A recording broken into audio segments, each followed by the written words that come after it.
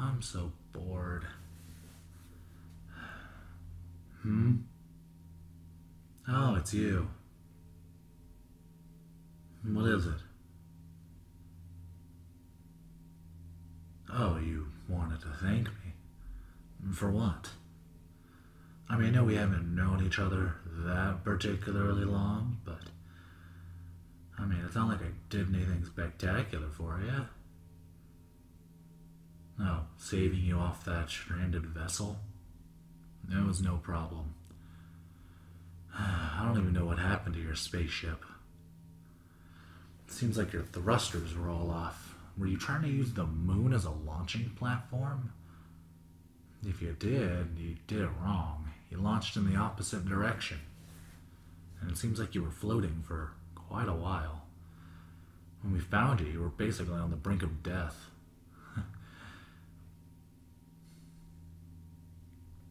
So, uh, stranger, now that you're fully awake and uh, conscious, and well, um, not screaming like a banshee, since I left you in your room to do that, um,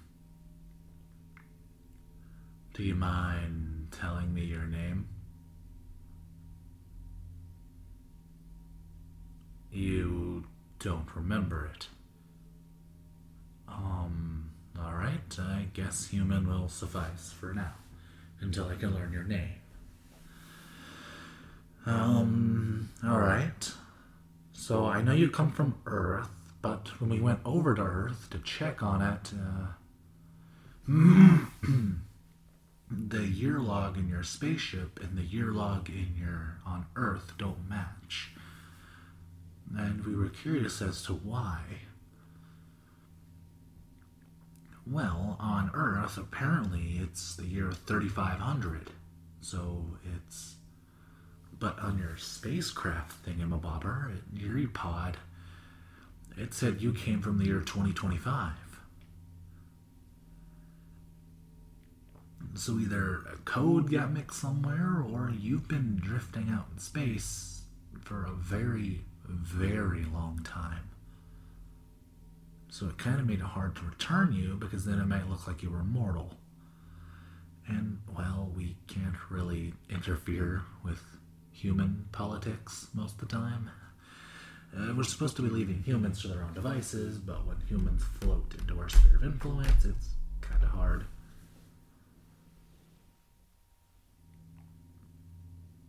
Where are you right now? Uh, currently, we're on the edge of your system, kind of by Pluto. We were about to leave it when you woke up, so we halted. So, in case we need to turn around, we will, but I'd prefer if you didn't want to go back to Earth, I won't lie. Well, it'd be a lot more convenient, one, for me, and two, the big problem you'll probably be killed nearly instantaneously by whoever's on that planet. So it'd be pretty pointless. I mean, if you really want to go back, I will take you back. But uh, I don't think that'd be a good idea for you. I mean, you're literally a thousand years in the future. Who knows if humans are even alive on the planet?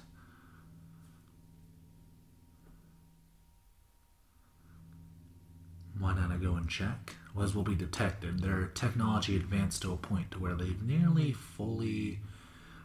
The word? You guys use this weird word. Colonize. Yeah, they've nearly 100% colonized the Earth. So if we were to go back, it would be um, a problem because the Earth and the Moon have been humanized.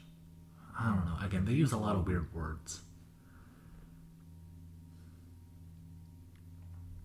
Where did I find you? Uh, you were drifting by Jupiter. So you were quite a way away. Hmm? Oh, right. Your clothes. The thing is about them, uh, we kind of destroyed them on accident. Well, we were trying to sterilize you and didn't realize your clothes were made of a certain material that didn't play well with it, and basically it vaporized the clothes right off your body.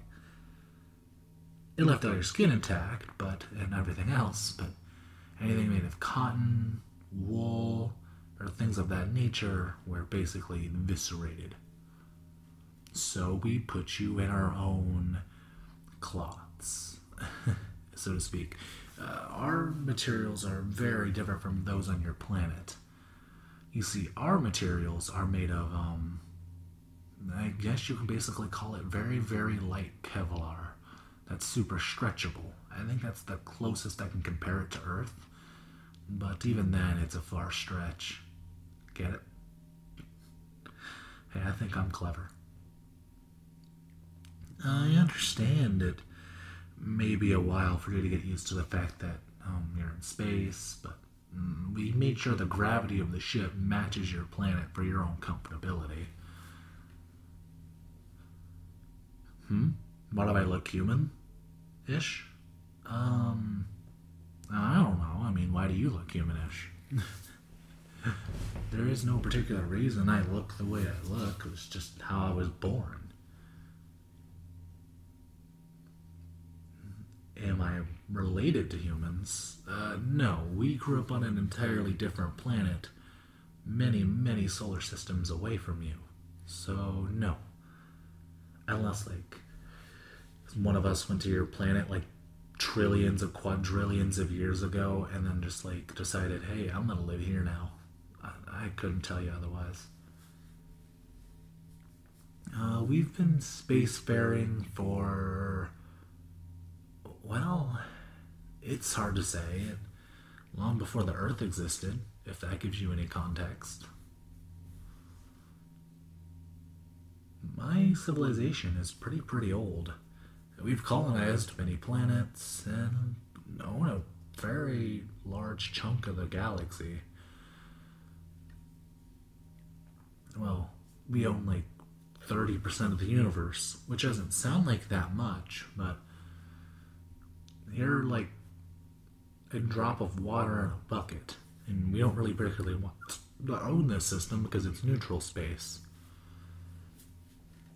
What that means is any species can come in here, check things out, and leave. The one rule is we're not allowed to disturb you. Basically, we gotta leave you alone until you're spacefaring. It's like a galactic code thing. Uh, basically, our version of the Geneva Convention. Um, you can't mess with planets that are not at the same tier as you. So if you're at a lower technology tier, we can't interfere with you, and neither can any other race. But once you've reached a certain tier, you can interact with that tier's specific races.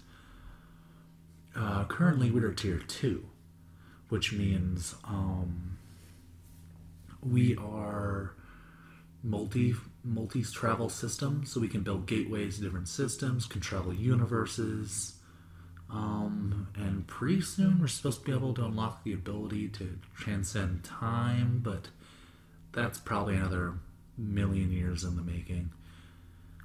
I mean, it'll be cool for when I see it, but. Huh, what? Oh, yeah, we're uh, immortal. We cured aging a very, very long time ago. It's why you still look young, by the way.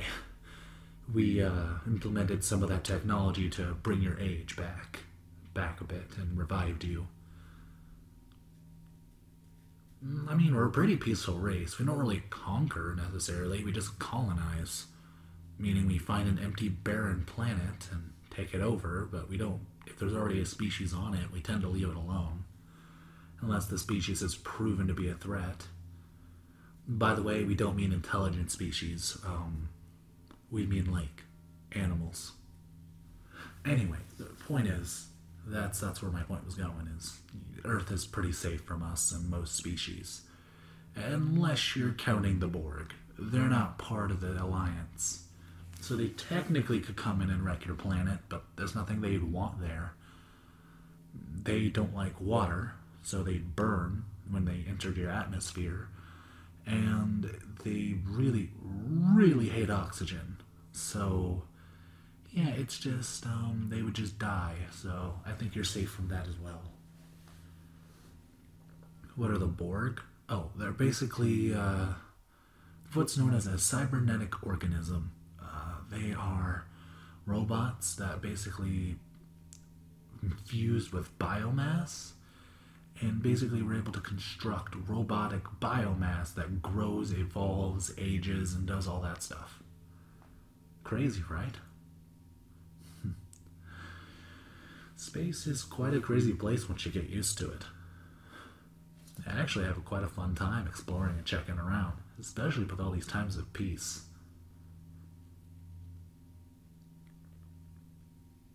What will I do if you decide to stay?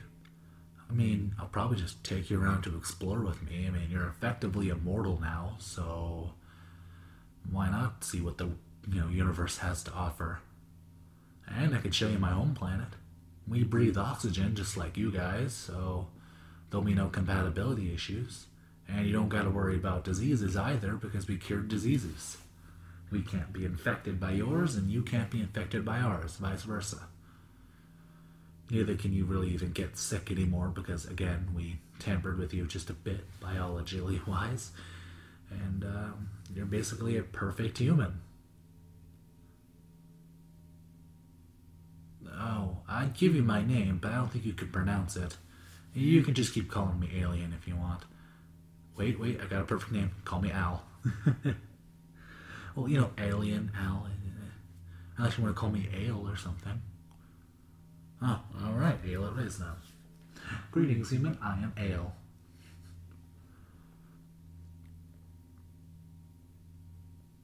Hmm? Oh, right, yeah. So, what's your decision, human?